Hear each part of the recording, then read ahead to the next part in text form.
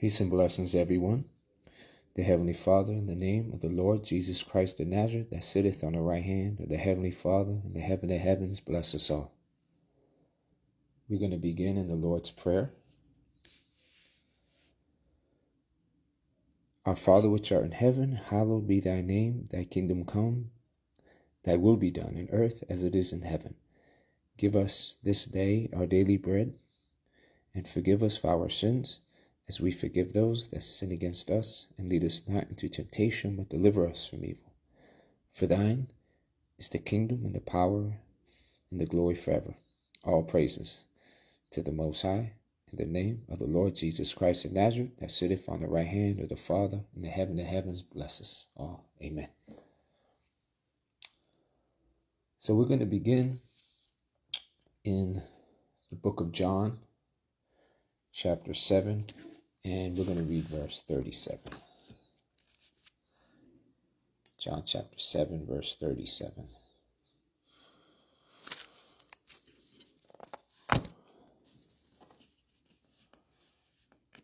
So this is um, the book of John, chapter 7, verse 37. Let's read the scripture. So it says, uh, let me see here. John 7 37. So it says, In the last day, that great day of the feast. So we're reading about the last day of the Feast of Tabernacles. And we read that in verse 1.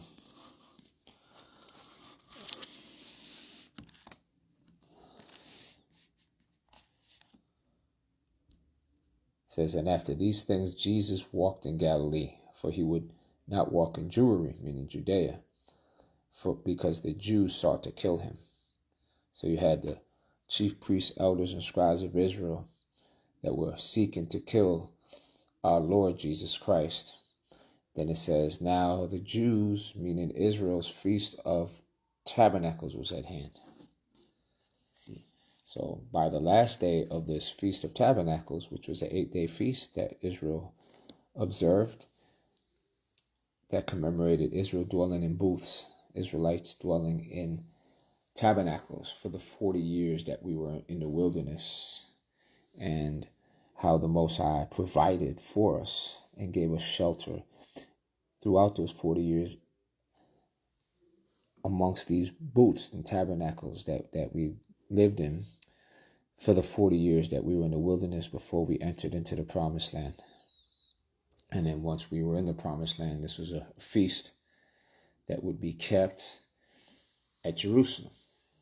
Okay, but at the beginning of the feast, the Lord did not openly appear at Jerusalem in front of everyone because they were seeking to kill him. But by the midst of the feast and by the end of the feast, our Lord was preaching and teaching the words of the Father in heaven, right? So let's go back to this 37 verse, right? John chapter 7, verse 37. So let's see here. So, John chapter 7, verse 37 says, In the last day, that great day of the feast, so this is the last day of the Feast of Tabernacles which was kept at Jerusalem, the Lord himself was there observing the Feast of Tabernacles. It says, Jesus stood and cried. So the Lord stood up in the midst of the temple and he cried aloud, see, saying, If any man, any man, thirst, let him come unto me and drink. See, so amongst the children of Israel at the Feast of Tabernacles, the Lord stood up and he cried aloud and he spoke to the people and said, If for those that are thirsting, thirsting after obtaining God's righteousness, to be right in the sight of God, that are thirsting for the knowledge of God, let him come unto me see, and drink. So, if we're thirsting for righteousness, we have to come to Christ. because he has a drink, meaning a spiritual living water that he could provide for us. But we have to be thirsting for it. That's what he was telling the people of the children of Israel during the Feast of Tabernacles on the last day, because that last day was a, a holy convocation. So all the people that traveled from all throughout the land of Israel or wherever they may have been scattered throughout the world that were there keeping the feast, you know, understand that this last day was it was a convocation, a gathering. So there was, you know, a multitude of people that were there at the temple and that were in that whole vicinity of the temple at Jerusalem. So the Lord, during this last day of the Feast of Tabernacles, is declaring to the children of Israel that He has a, a, a living spiritual water that they can drink if they're thirsting. And this thirst and desire that Christ is speaking about is for those that are truly seeking the righteousness of the Most High. If you're thirsting for that, the Lord said, You got to come to me, and I have a living spiritual water that you can drink. So then he continues to say, He that believeth on me. So to believe on Jesus is to believe that Jesus is the Lord, the Christ, the Messiah of Israel. That he is the Son of God. He that believeth on me, as the scripture hath said. See? So now the Lord is quoting a scripture that's referencing those of Israel that's thirsting after righteousness that the Most High has a living spiritual water that they can drink from. But we must understand to obtain this living spiritual water, we got to come to Christ. So that's why it says, He that believeth on me, as the scripture has said, meaning if, if those of Israel believe that Jesus is the Lord and Christ of Israel, then what's going to come to pass is in our life is a scripture that was already written by the prophet Isaiah. He that believeth on me, as the scripture hath said, out of his belly, see the inward part, because God desires for us to desire his truth in the inward part. See, David said in Psalm 51, Thou, meaning God, desirest truth in the inward part. As a matter of fact, let's just read that verse since we mentioned that. Let's let's go to Psalm 51, right? Let's get Psalm 51.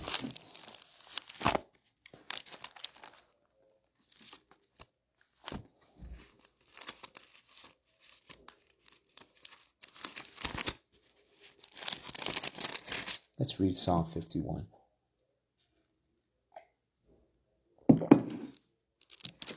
Psalm 51 is a psalm of David, king of Israel. And David actually wrote this psalm, you know, when he committed, after he committed adultery with Bathsheba and uh, Uriah's wife. And the man was, you know, very remorseful and of a contrite spirit for what he had done in, you know, committing adultery. So these are the words that he spoke. And I'll read Psalm 51 and um, let's see what verse. I'll read from the, um, let's read from the sixth verse to get right to the point. Uh, bear with me one second.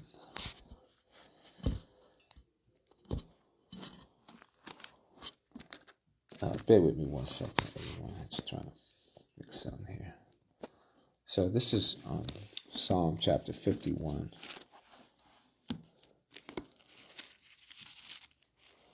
And um, let's read verse 6. Behold, so These are words that David spoke in the spirit, acknowledging what what how, you know what the Father desires of us. You know, when we read in the book of John, the, um, uh, the fourth chapter, when our Lord was speaking to the Israelite woman of Samaria, what what did Christ teach her? Well, he taught her many things. One of the things he taught her was that that God is a spirit, and they that worship him must worship him in spirit and truth. Then he continued to say, For the Father seeketh such to worship him. So what he was teaching the woman of Samaria was that the Heavenly Father desires of us, as His people, to worship Him, to pray to Him, you know, to obey Him, to follow Him in a spiritual way. And in truth, meaning according to His word as it is written. The Father seeketh such to worship Him, right? So, in similar context is written this scripture. This is Psalm 51 and 6. Behold, thou, see, this thou is the Most High, the Father, desirous truth in the, what does it say there? Inward parts. Inward parts. So, the Most High desires of us to seek his righteousness, his truth. And where does he want his truth to reside? Within us, deep within us. That's why I say, and in the hidden part. So it's expounding the point in the beginning of the verse. The hidden part, the inward part. That's going into what? The heart of our hearts, deep inside us, deep in our heart, deep in our mind, right? Thou, meaning the Father, shall make me to know wisdom. The knowledge and wisdom of God will be imparted onto us within us if we what? Seek it. We have to seek it. Remember, the Lord said we have to seek it, we have to thirst after it. So let's read it again. Behold, thou desirest truth in the inward parts, and in the hidden part thou shalt make me to know wisdom. So now we're seeing in this verse, just like the Lord taught the woman of Samaria, that the Father desires of us that we seek His truth, His wisdom, in a way where it's coming from our heart. That's where the, the true worship of God is. It's within us. It's not about going to Jerusalem. It's not about this mountain or that mountain or this city or that city. We have to go on a long journey, and this is the place that we must ultimately get to to know the Most High. No to get to the, know the Most High, to know the Father, for the Father to reveal His Son within us.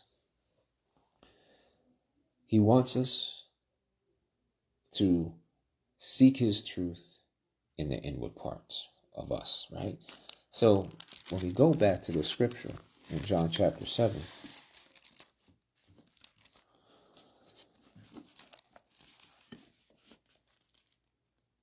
it says, He that believeth on me, as the scripture hath said. So the, the scripture he's quoting, by the way, is, is the book of Isaiah 44. And in Isaiah 44, and verse, it, it starts, I'll get you the verse real quick. It, it starts at the, the first verse, but the main part is few verses down.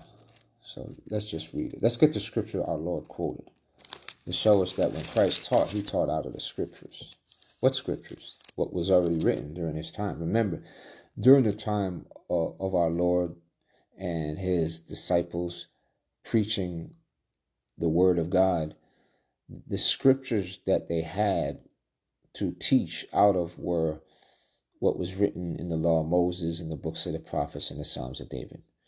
So we can understand during that during the time that Christ spoke, during the Feast of Tabernacles, for example, you know, the New Testament wasn't written yet. The the book of Matthew, Mark, Luke, you know, John wasn't written yet. The book of Acts, we know that definitely wasn't written yet because though though that his that that um history didn't play out until after the Lord ascended to the Father in heaven.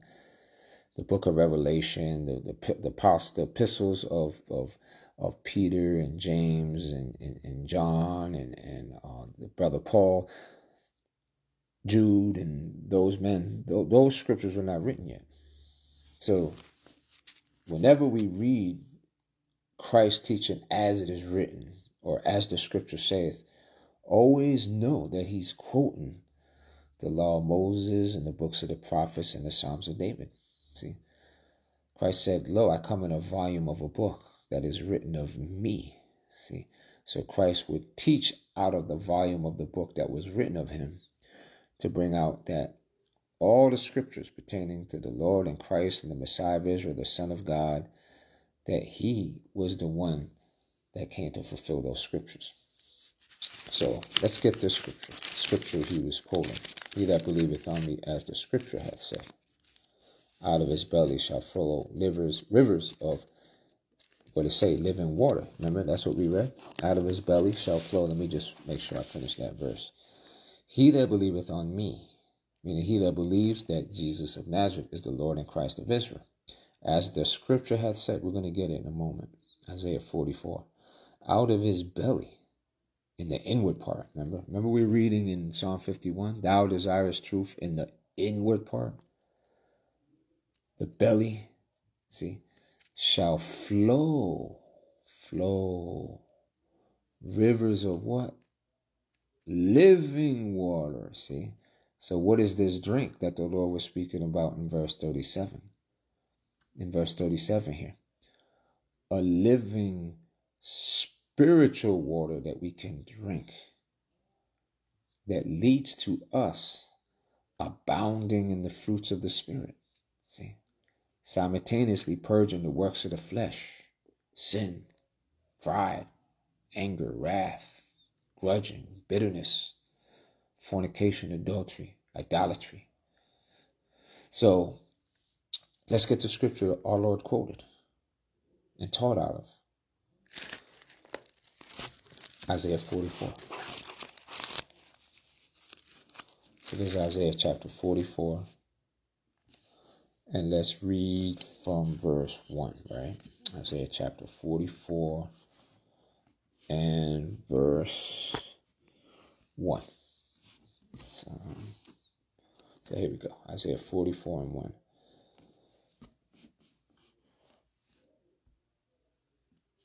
So there we go.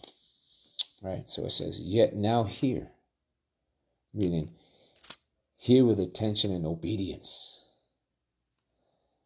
O Jacob, my servant. See? So, who are the servants of the Most High? Jacob. Who's this Jacob? He was the father of the 12 tribes of Israel, the son of Isaac. And Isaac was the son of Abraham. So, we're talking about our fathers. Jacob. O Jacob, my servant. Remember when the Lord was speaking with the woman in Samaria and the Lord was telling her about the living water? And she said, Art thou greater than our father? What did she say? Remember, she said, because the Lord was telling her, let's just get the point real quick. I know we're going through a lot of scriptures, but you'll see why we're going. Let's just let me just get the point. Let's go to John 4. Because it's it, it goes exactly with John chapter 7, by the way. So it's not like we're going all over the place and these scriptures don't tie together. so this is John chapter 4, right? Let's read John chapter 4 and verse 10. Jesus answered and said unto her, If thou knewest the gift of God, so, so the gift of God, when we read in the scriptures, is, is going into the outpouring of the Holy Spirit. And who it is that saith to thee, Give me to drink? Because when you read earlier in the verses, the Lord was at the at Jacob's well with the woman in Samaria, and he asked her for a drink of water. And then she's shocked because, you know, traditionally the, the circumcision of Israel, you know, they didn't deal with the Israelites in Samaria. So she's like just totally taken aback. She's totally shocked that the, the Lord would even be asking her for a drink of water because ordinarily Israel that would come from Jerusalem or Judea, you know, or that you know that was part of the circumcision. Not that Christ was part of the circumcision, but she knew that he came from um, Jerusalem, Judea to Samaria. So she kind of assumed that you know he's probably gonna treat me like the rest of you know the circumcision of Israel. So she's shocked and so the Lord, he says, Jesus answered and said unto her, If thou knewest the gift of God and who it is, who it is that saith to thee, Give me to drink. thou wouldst asked of him, and he would have given the living water. See, so the one that's speaking to the woman of Samaria, he has the ability to give living water. So the Lord, you know, it's it's it's the, the funny thing about this whole, you know, conversation that they're having here is the Lord was thirsty from from his journey that he took from Jerusalem, you know, to Samaria on the way to Galilee, and he asked her for a drink of water that came from Jacob's well. And the Lord's like, look, if you knew who was speaking to you, I mean, if you knew that I was, if you only knew who, who I am, the Messiah, the Christ of Israel, the Son of the living God, you would be asking him for living water. See, and then it says, the woman saith unto him, Sir, thou hast nothing to draw with, and the well is what? Deep. From whence, meaning from where then hast thou that living water? So, f- f- where are you going to give me this living water? because we're here at Jacob's well. The well runs deep. You have nothing to draw water with.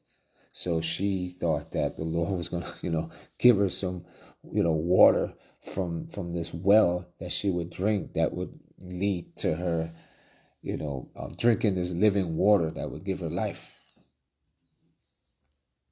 So then she says in verse 12, Art thou greater than our father Jacob? Are you a greater man than Jacob? That you have some living water to give me? This, you got some better water than the water that's here at our forefathers' well, Jacob? Art thou greater than our father Jacob? So that shows us that the woman of Samaria was a descendant of who? Jacob. She was Israelite. And she knew that the Lord was an Israelite. What she didn't know was Like he said, if thou knewest the gift of God and who it is that saith to thee, Give me to drink, thou wouldst ask of him living water, and he would have given thee. Thou wouldst asked of him, and he would have given thee living water. So if you only knew who who who I am and who it is that's speaking to you, you'd be asking me for the living water right now.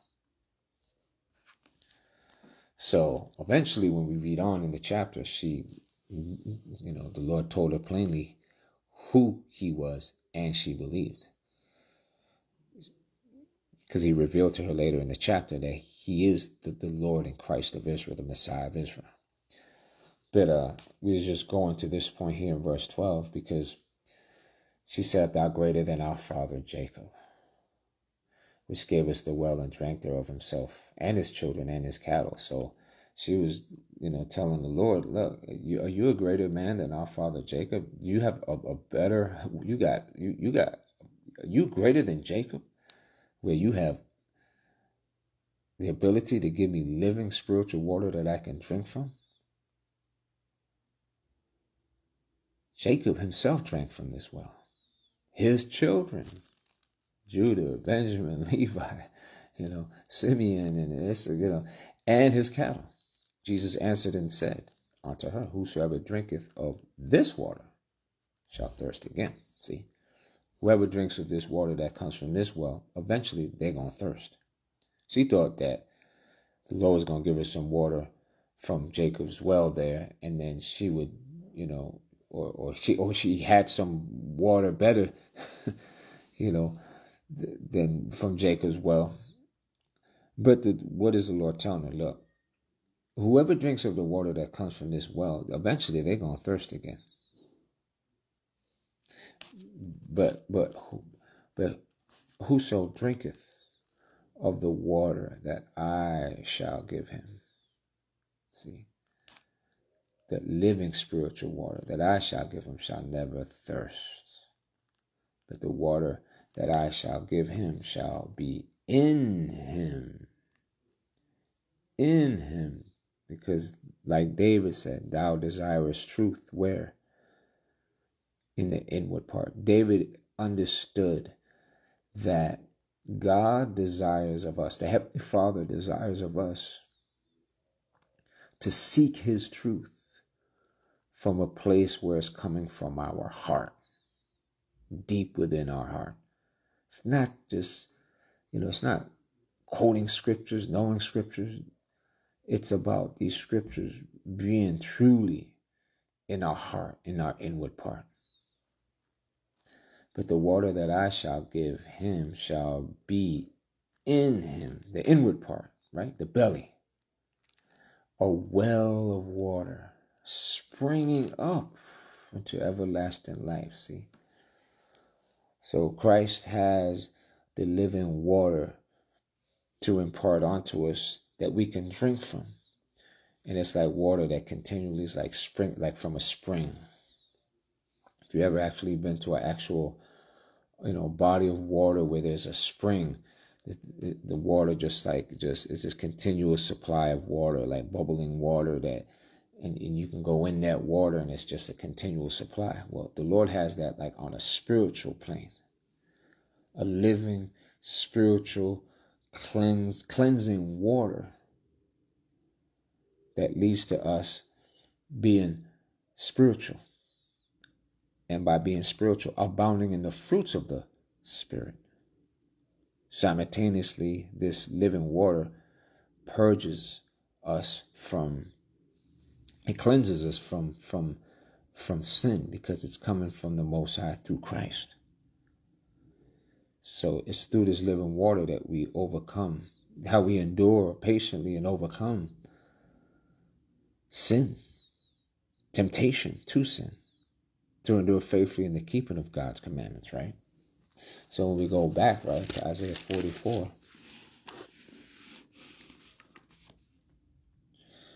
yet now hear, see, yet now hear, yet now hear, O Jacob, my servant, and Israel the children of Jacob, because Jacob's name was changed to Israel, whom I have chosen. So, who did the Most High choose amongst all nations to be above all nations? The 12 tribes of Israel. This first verse talking about the 12 tribes of Israel. Thus saith the Lord, thus saith the Most High, that made thee and formed thee from the womb. See? So the Most High made us. He formed us. He chose us from the womb, which will help thee. So, who is our help? Who is our Savior? Who is our deliverer? The Most High through Christ. Fear not, O Jacob. Fear not, O Jacob, because even though Israel is under reproach because we broke God's commandments, the Lord said, Fear not, O Jacob, my servant, and thou Jeshurun, whom I have chosen. So Jeshurun is another um, way that the Most High call us by Israel. Jeshurun meaning like upright one. So whenever you read about Jeshurun or Jacob or Israel, it's talking about our people, the tribes of Israel. Now let's check out verse 3. Let's see what verse 3 is talking about. Because this is the scripture that our Lord quoted during the Feast of Tabernacles, on the last day of the Feast of Tabernacles. Remember when he said, He that believeth on me, as the scripture hath said, out of his belly shall flow li- rivers of living water. Okay, well, let's read it. For I, see, so it's the Most High through Christ. That's John 14 23. Will pour water upon him that is what? Thirsty. Didn't Jesus Christ teach that if any man thirst, let him come unto me? Well, I will pour water, meaning living spiritual water. This. So, this water that we're reading about here in Isaiah 44 and 3 is the same exact identical water that the Lord was speaking to the Israelite woman of Samaria to. The same water. Not a different water, the same water. For I will pour water upon him that is what? Thirsty. So if we're hungry, thirsty, desirous for the righteousness which is of the Most High, if we desire that in our inward part, if we desire that in our belly, deep, deep, deep down inside, the Most High will give it to us. Because when it's coming from that place, it means that we're coming from a standpoint where we are being what? sincere. We're not we're not into seeking the Most High's righteousness and learning this truth to serve the Most High, you know, for any ulterior motives or hidden agendas. We seek and thirst after the Most High's righteousness because we know that what? Without the Most High and Christ, we're nothing. See?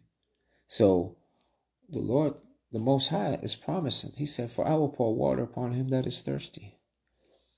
And floods, meaning floods of water, upon the what? Dry ground. So picture a dry ground, parched dry ground, right? And then the rains come and the floods come.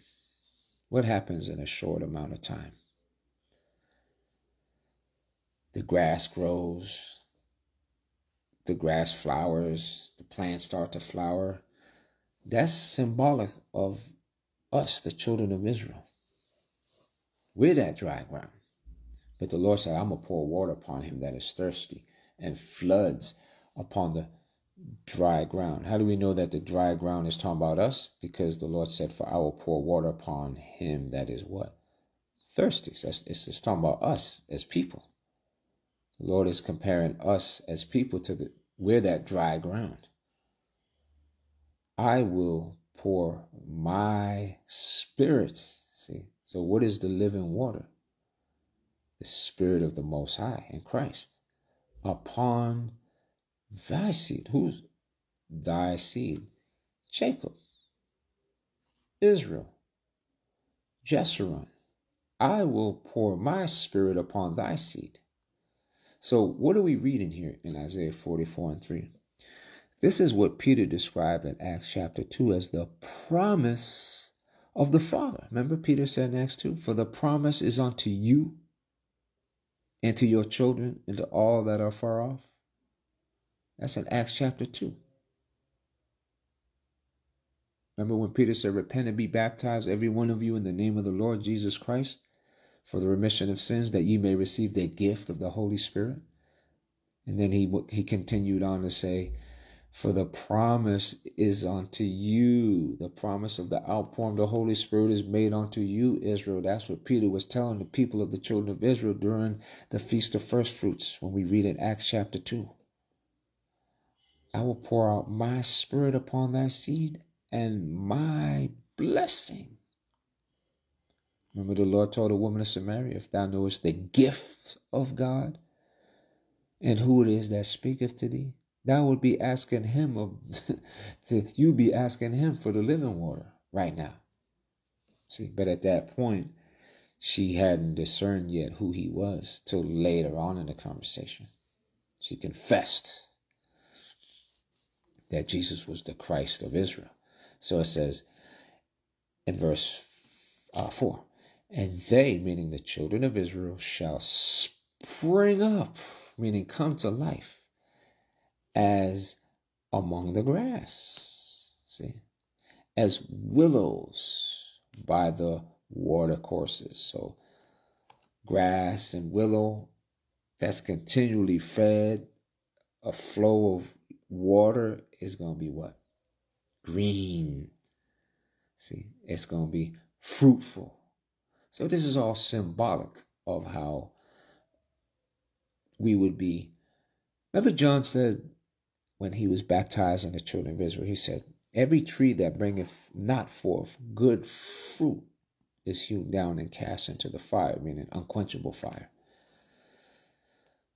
And then he spoke about one that was mightier than him, greater than him, preferred before him, who was before him, because Jesus Christ was with God before the world was. What did he say about that man, Jesus? He said, There is one among you that you know not that's greater than me.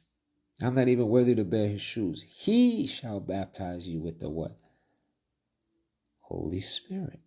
See, so there's another reference. We was reading John chapter 4, John chapter 7. We're reading here all throughout the scriptures, man. All praises that even John was talking about the outpouring of the Holy Spirit. That comes through who? The one that is preferred before him, greater than him, who is before him. That's Jesus Christ. So now let's go back to finish up. Let's finish up this uh, Bible study this evening here in John chapter 7.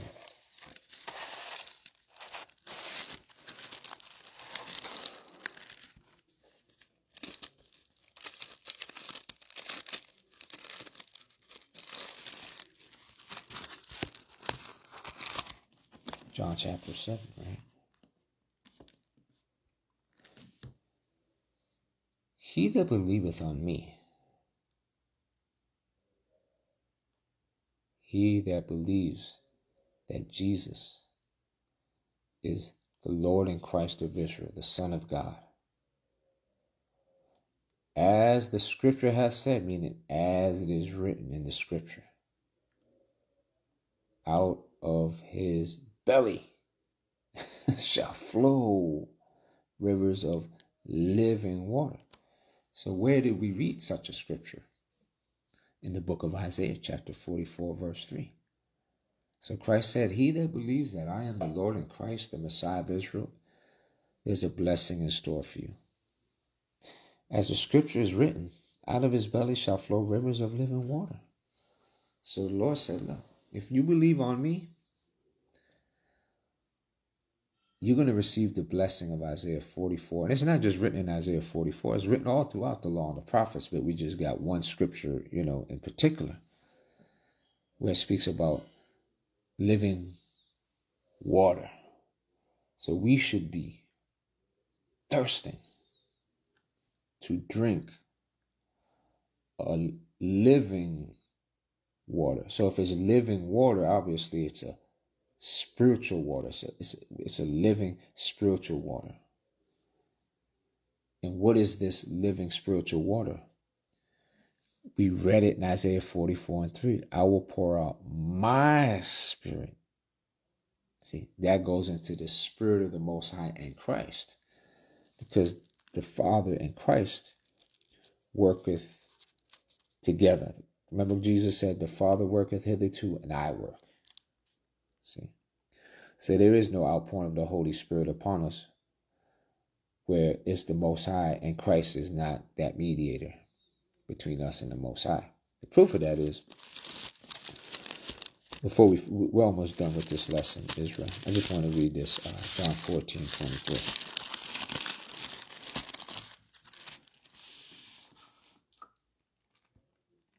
Because in this chapter, the Lord was speaking about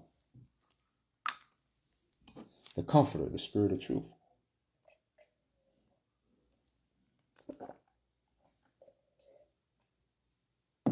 So I wanted to read this this verse here, John 14, 23.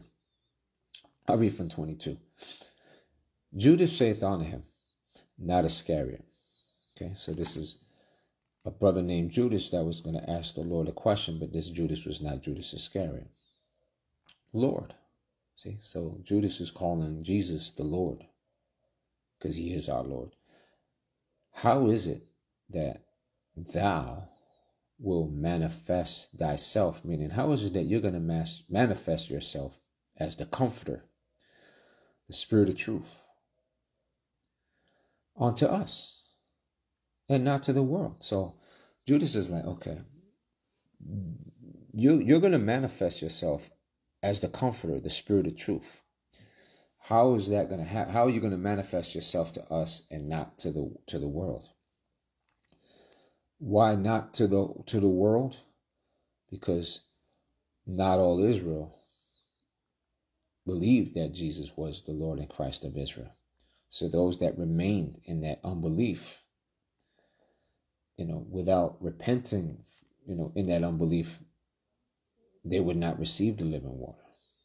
So then it's saying, verse 23 Jesus answered and said unto him, If a man love me, meaning if a man truly loves me, he will keep my words. So, what's the context of keeping the words of Jesus Christ? To keep the words of Christ is to guard them with our life. This keeping is it's not just hearing it, it's being faithful unto the words of Christ, being obedient unto the words of Christ. It's the words of Christ being in the what? Remember Psalm 51? The inward part. Remember, thou desirest truth in the inward part. In the hidden part, Thou shalt make me to know wisdom. What is the hidden part? Deep within us, deep in our belly, deep in our gut, deep in our spirit, deep in our heart of hearts. That's where we should desire God's righteousness and thirst after his knowledge. It has to come from a place not a place that we have to travel to to obtain it. Like the Lord taught the woman of Samaria, neither in this mountain nor yet at Jerusalem shall you worship the Father. he, what did he tell her? He said, Look, God is a spirit, and they that worship him must worship him in spirit and truth. The worship of God is within you. It's within you. So, if a man love me, Meaning, if a man truly loves me, he will keep my words. We're going to guard and keep the words of Christ locked, guarded in our heart. We're not going to give place to Satan, to give Satan an opportunity to snatch away that which is sown in our heart. What is that which has been sown in our hearts? That Jesus Christ is the Son of the living God, that he is the way, the truth, the life, and no man can come to the Father but by him. So now, if a man truly loves Christ and we truly keep his words, right? We remember our faith. Jesus is the author and finisher of our faith. Our faith begins with Christ, it's matured and perfected in Christ. And my, so I said, if a man love me, he will keep my words. See? And my Father will love him. So, how do we obtain the love of the Father? We have to keep the words of who? His Son. And we, who is the we? Is that singular or plural? That's plural. Talking about the Father and the Son. We will come unto him, meaning in the form of the Comforter, the Spirit of truth, the living water, and make our abode with him. That's powerful. Remember, we read in Isaiah 44 that if we hunger, that if we thirst for the living water, that he gonna what? Pour out his spirit upon us. That's what spirit is that talking about? The same spirit that Christ taught here in Isaiah, I mean, uh, John chapter 14. The spirit of truth. The spirit of truth. What is the spirit of truth? Whom the world cannot receive. That's why Judas said, How will thou reveal, how are you going to manifest yourself as the spirit of truth and not to the whole world? Well, why, why can't the world receive him, receive the spirit of truth? Because it, meaning the world, meaning the chief priests, elders, and scribes of Israel, any Israelite that reject Jesus, because it seeth him not. See, unlike the disciples of the Lord and the ones that believed in the, in the Lord, they saw him as the Son of God. Neither knoweth him. The chief priests, elders, and scribes that banded together with Pilate and Herod to, to kill Christ, they didn't see him as Peter and the apostles and Mary Magdalene and the rest of Israel that uh, believed in Christ. They, they, they, they rejected him. But ye know him, meaning you know who I am, for he dwelleth with you, meaning I, as the truth, dwell among you. Because remember in verse 6, what did he refer to himself as? The truth. Jesus saith unto him, I am the way, the what? Truth. See? For he dwelleth with you as the truth, and shall be in you. So Christ was there in the flesh among them as the truth. Then he says, and shall be in you. Why I say shall? That's future tense.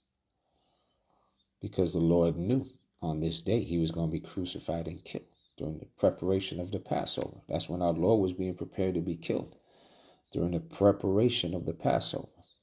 So he was killed during the 14th day of the first month during the preparation of the Passover. He knew on this day he was going to be killed and buried, but he would be risen. Turn on to them for 40 days, then to then ascend to the Father. That after his ascension into heaven, he would return unto them. In the form of what? We're going to read it. I will not leave you, because he knew he was going to ascend to the Father in heaven. Comfortless.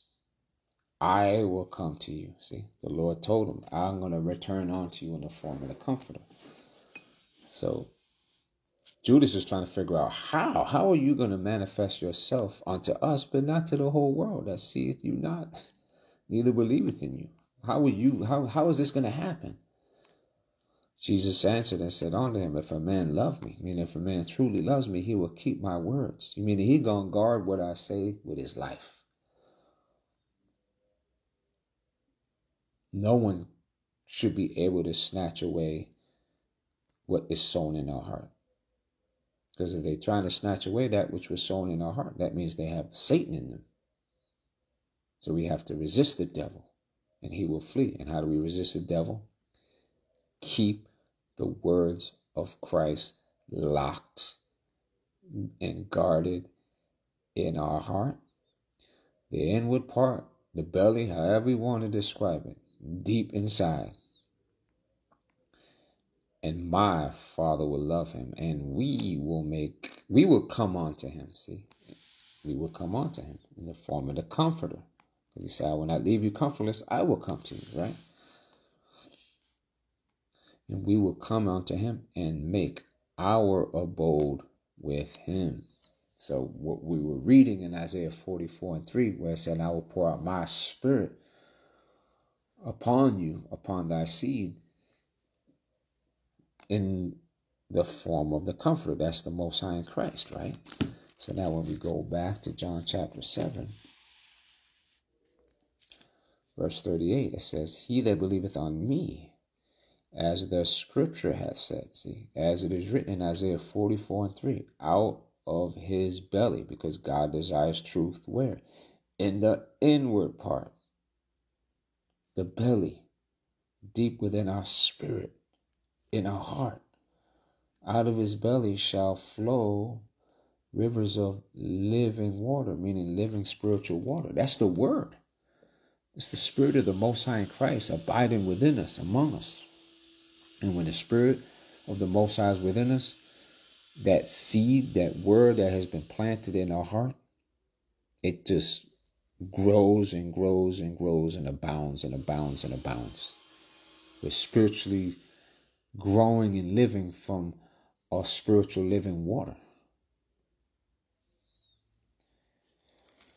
So remember, he said, For he dwelleth with you and sh- shall be in you. What does shall be in you mean? Future tense. Because Christ was there in the flesh among them as the truth, like he said in John 14 and 6. But then he spoke about the spirit of truth, which would be Christ not in the flesh, but Christ being with us in what? In spirit, in the form of the comforter, the spirit of truth, the Holy Spirit. Right? That's what this verse is going to go into. So what did they hear in this verse? But this spake he of the Spirit. So the living water is a spiritual living water, right? Okay. But this spake he of the Spirit, which they, who's the they? Remember, we read in Isaiah 44 Jacob, Israel, Jeshurun, in other words, the 12 tribes of Israel. Remember, Peter said in Acts 2 the promise is unto you and to your children and to all that are far off. What promise? The promise of the Holy Spirit that we obtain by repenting from our sins and being baptized in water in the name of the Lord Jesus Christ of Nazareth, meaning under his power, under his authority, under his influence.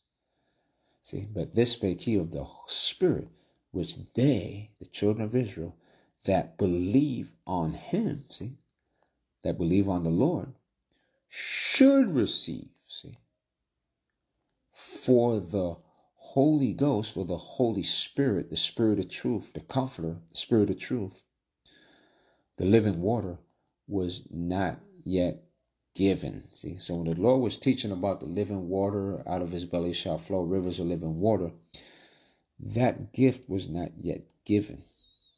Now, what does that mean? Because that Jesus was not yet glorified. So until the Lord be glorified, Israel could not receive the promise of the Father, which is the outpouring of the Holy Spirit.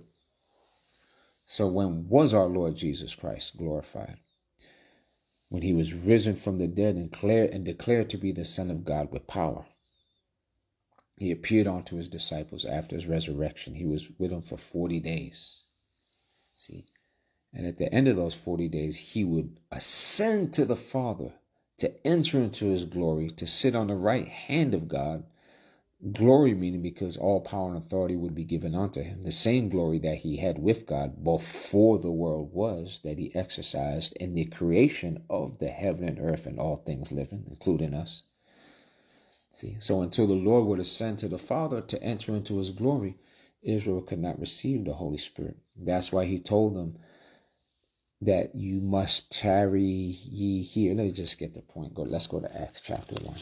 We'll end it here, Israel. Roll up. Acts chapter 1.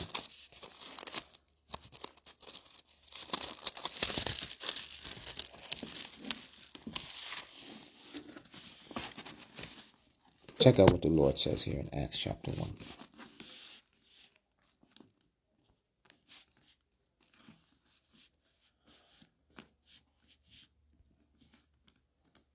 So it says, and being assembled. This is Acts chapter 1 and 4. And being assembled together with them, meaning the Lord was assembled together with his disciples. At this time, it was 11 disciples because um, Matthias was not um, brought into the ministry till after the Lord ascended to the Father. So it says, and being assembled together with them, commanded them that they should not depart from Jerusalem, but wait for the promise of the Father. Wow, how about that, Israel? Remember, we were referencing the promise of the Father, the promise of the Father, the promise of the Father. We was mentioning Peter in Acts chapter 2. Well, here's another mention of the promise of the Father. And we know the promise of the Father, according to all the scriptures we read thus far, that the promise of the Father is the Most High pouring out of His Spirit, the Spirit of Him and His Son upon us.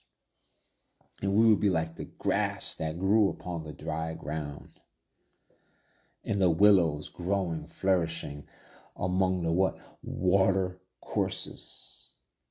Right? So for the promise of the Father, they had to wait for it. Remember, we read the Holy Spirit was not yet given because Jesus Christ was not yet what? Glorified. How was he glorified? When he was risen from the dead to ascend to the Father to sit on the right hand of God to enter into his glory, like he taught the two men that were walking from Jerusalem to Emmaus. Didn't what did he tell them? Ought not the Christ have suffered these things to enter into his glory? Remember he said that. Hold this real quick. Luke 24.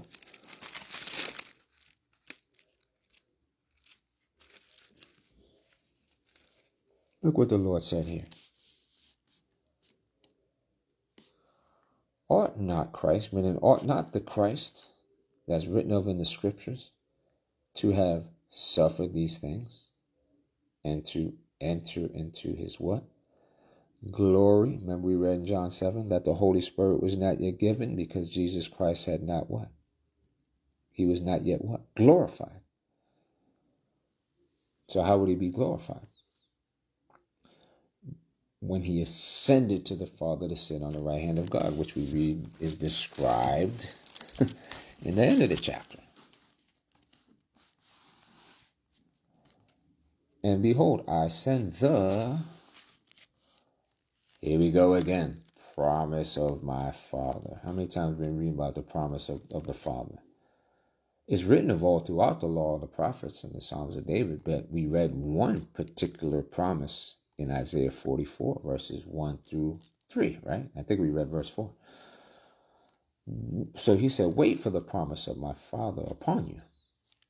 Well, no, he said, what he? Uh, and behold, I send the promise of my Father upon you.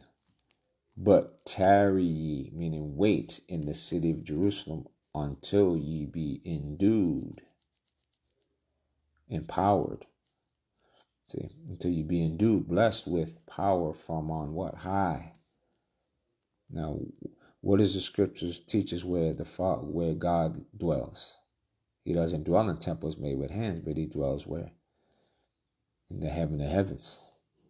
So they would have to wait from the power to come from the throne of the Most High to be endued with spiritual power. And he led them out as far as to Bethany, and he lifted up his hands and blessed them. And it came to pass while he blessed them, he, meaning Jesus Christ, was parted from them and carried up into heaven on high. In Mark 16 19, it describes it as Christ ascending to sit on the right hand of God. That's the glory that we're reading in Luke 24 in the verse earlier, right? Says, um, and they worshiped him. So they worshiped him and returned to Jerusalem with joy, great joy. So even though the Lord ascended to sit on the right hand of God and departed from them, why why would they rejoice and worship him? because they knew that he would what return unto them in the form of the comforter remember we read in john 14 i will not leave you comfortless i will come unto you so knowing that fact they rejoiced why else would you rejoice if the lord that was crucified, killed, risen from the dead, was with you for 40 days. Then he ascended to the Father. You would think that they would be crying and mourning and sorrowful. No, it was the opposite of that. They actually rejoiced and worshiped the Lord as the Son of God. See? So, going back to this point in Acts 1,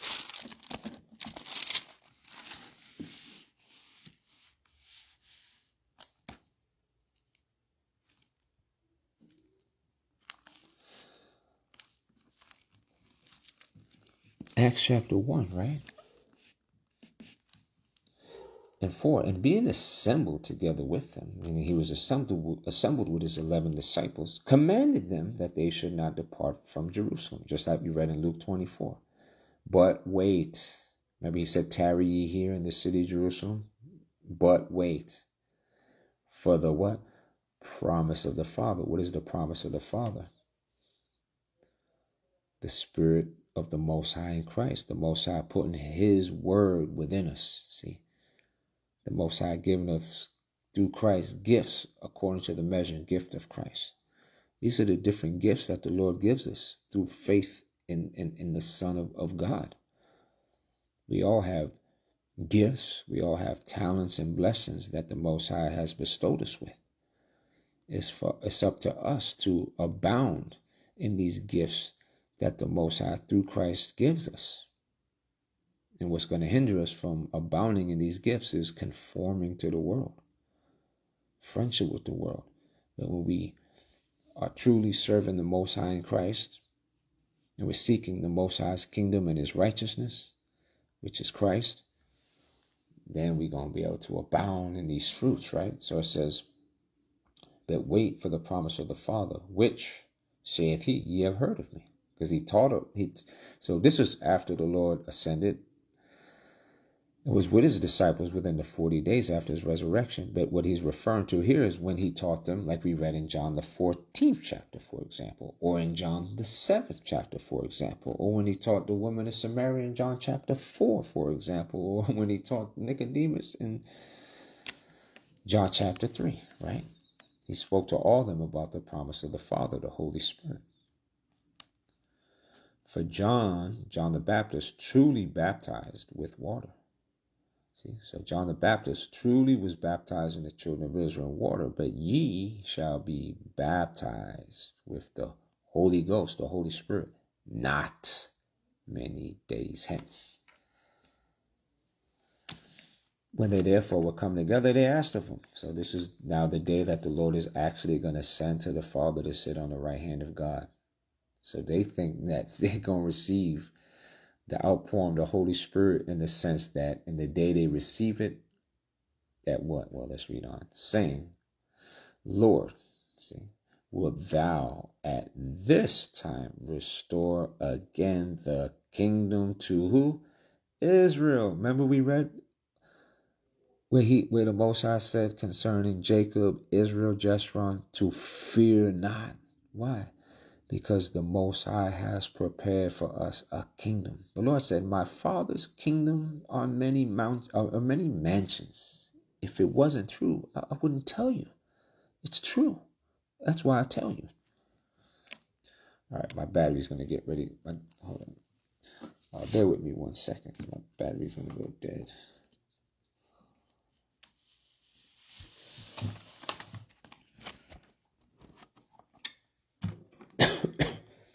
I just want to finish up that verse. Uh, bear with me one second because my phone's getting ready to die here. All right. So let's wrap this up. Um,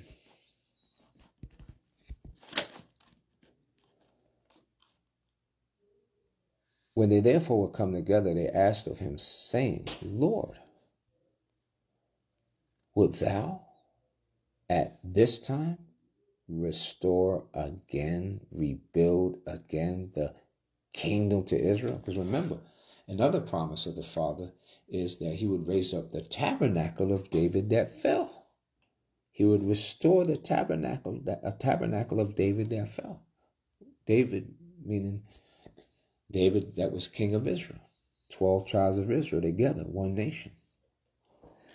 Well, the tabernacle of David is going to be risen again through the Son of David, Jesus Christ. It is going to be restored again. But they thought because they were going to receive the outpour of the Holy Spirit in just a few days, that once they received the Holy Spirit, Israel's going to get the kingdom to come. See? So what did they tie the outpouring of the Holy Spirit to? The salvation and the restoring again to the of the of the kingdom to the twelve tribes of Israel. So what does the Lord say though? And he said unto them, It is it is not for you to know the times or the seasons which the Father hath put in his own power. Meaning, it is not for you to know the times or the seasons which the Heavenly Father hath put in his own power to restore again the kingdom to Israel. So, this is a great scripture to show us that no man knows the times of the seasons when the Most High is going to restore again the kingdom to Israel. The, the, the kingdom being restored to Israel will be at the second coming of our Lord Jesus Christ. Jacob is the end of the world. Esau, I mean, Esau, I'm sorry, he said that wrong. Esau is the end of the world. Jacob is the beginning of it that followeth. Jacob meaning Christ and Israel. So, you know, don't ever fall for the false teachers when they're trying to teach, oh, the Lord, because you got them out there. They're, talk, they're talking about, yeah, the Lord was supposed to come, where was it, 2020, 2020, 2019?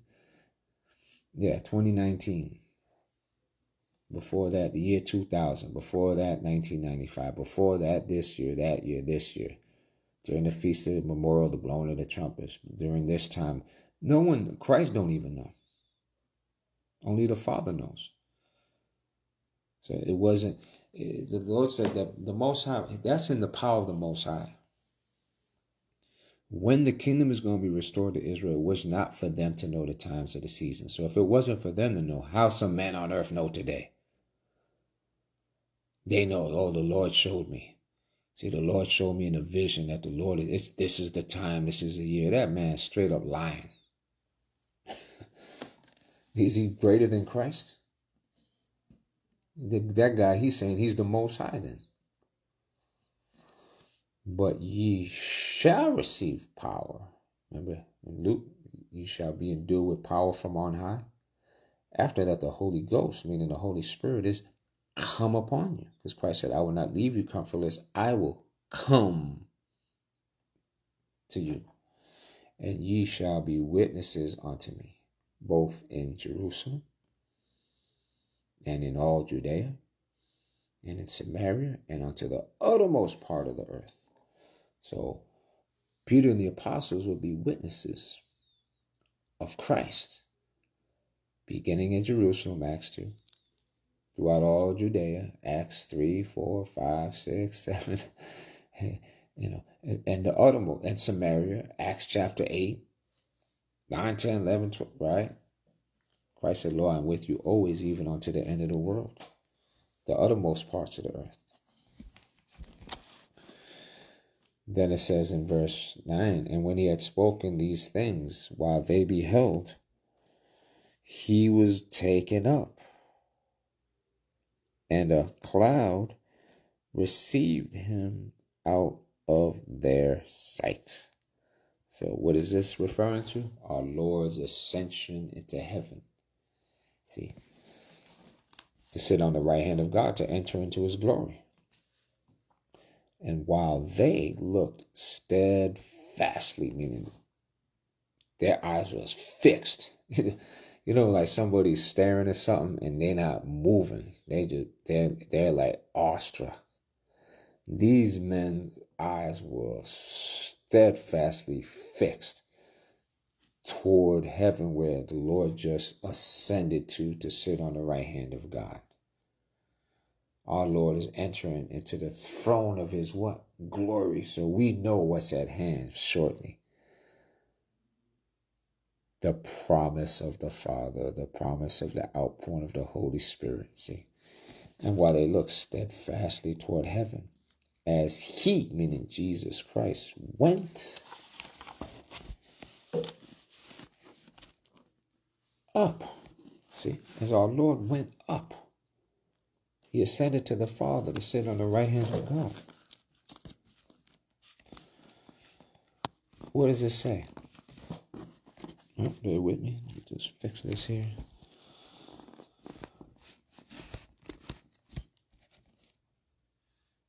Two men stood by them, meaning the disciples in white apparel. See, so these are two angels of the Most High. Now, check out what they said in verse 11. Which also said, Ye men of Galilee, ye men of Galilee, why stand ye gazing up into heaven? See, remember during the the people uh, yesterday during the solar eclipse, everybody was you know was gazing toward heaven. Well, the, the, disciples of the Lord were gazing toward heaven because the, the Lord ascended to the right hand of the Father. Now you see how all these people were dismayed at the size of heaven. Um, you know, yesterday during the eclipse. wait till what's written in the scriptures come to pass when the Lord come with thousands and ten thousands uh, uh, of his of his saints, meaning his angels, in the day of judgment. Man, that's to be a sight to see. So it says, which said, Ye men of Galilee, why stand ye gazing up into heaven? Why y'all staring and gazing into heaven? like the, the man that just ascended there, he's gone, poof. And that's it.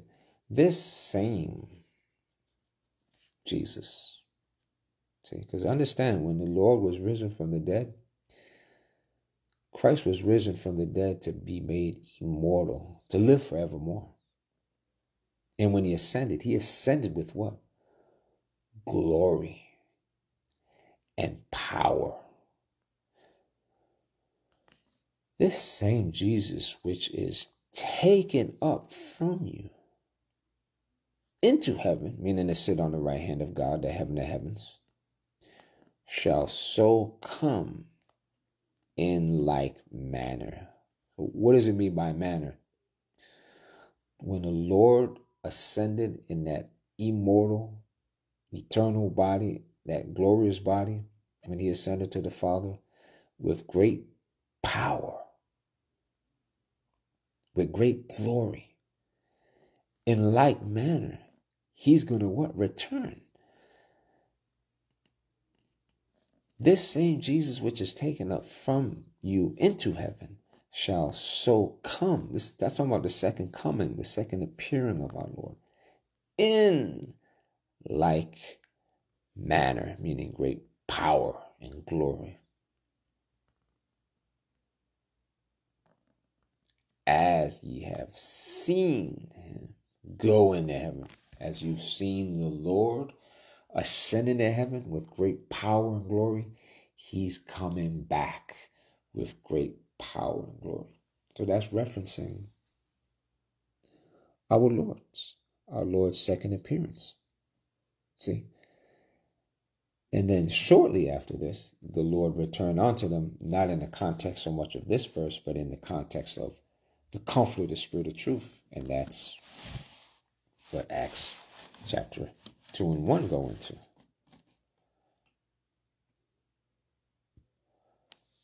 When the outpouring of the Holy Spirit was manifest among the disciples. See, so it came to pass what the Lord said. So uh, we'll end it there, though, Israel. All praises to the Most High in, in the name of our Lord Jesus Christ of Nazareth for these scriptures because they truly are living water.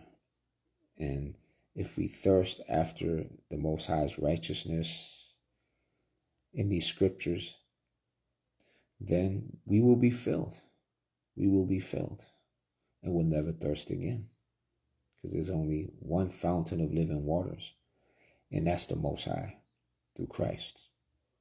We're not to do what Israel did in the past. Moses said, My people have committed two evils. That's in Jeremiah 2 and 11. My people have committed two evils. They have forsaken me, the fountain of living waters, and have made them cisterns, broken cisterns that can hold no water. See? Because the Most High, He's the living water. through Christ. That's why he said, that's why Christ said, the Father and I will make our abode with him as the fountain of living water. So all praises to the Most High in the name of our Lord Jesus Christ for these scriptures. Let's do a prayer before we end it for this um, evening uh, evening here in Arizona. But if you're on the East Coast, it's already um, past midnight. All right. Anyway, so let's get uh let's read the Psalm 119, right?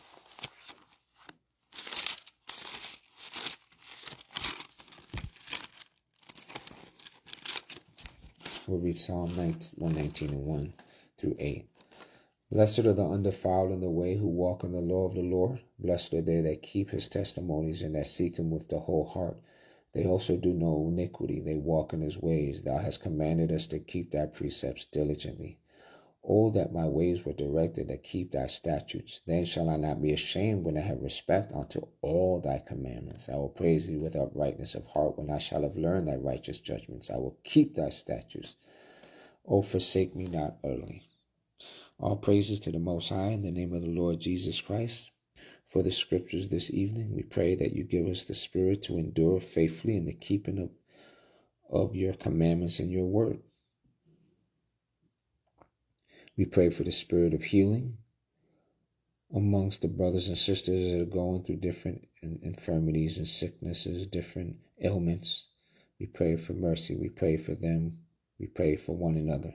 Thank you, Father, in the name of the Lord Jesus Christ of Nazareth. Amen. All right, brothers and sisters, peace and blessings to your homes. Much love to each and every one of you. You know, blessings and, and peace to you, uh, your inner joy, inner peace, healing. You know, to each and every one of uh, you, every one of us, in the name of our Lord, sitting on the right hand of the Father. So that's all we have for this evening.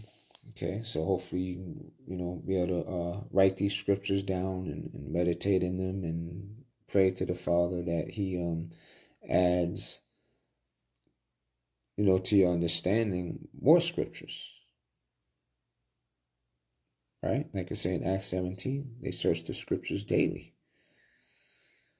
So uh, that's all we have. So peace and blessings. Uh, let me see who's on here. We got uh, Brother Christopher. Peace and blessings to you, brother. Uh, brother Aharon out in New York. Peace and blessings to you. Sister Sharon. Peace and blessings to you. Brother Dean Phillips out there in uh, Trinity. Peace and blessings to you. Uh, I, I, don't know if Jesse's still with us, but uh, peace and blessings to you, Brother Jesse out in Houston. Uh, Sister Hadassah out there with the Brother Dean and Trinity. Peace and blessings to you and your homes. Keep enduring in the faith. The Most High will provide all things. He will provide fellowship, a means to be, you know, fellowship with other brothers and sisters in the flesh, you know, but everything's in the Most High's time frame of things and in His time frame. You know, as long as we diligently seek in the Lord, the Most High will always provide a way. All praises to the Most High in Christ. Our brother Akeem, peace and blessings to you as well, brother, to your home, you insist, sis. Blessings to your home. All right, Israel. That's all I had.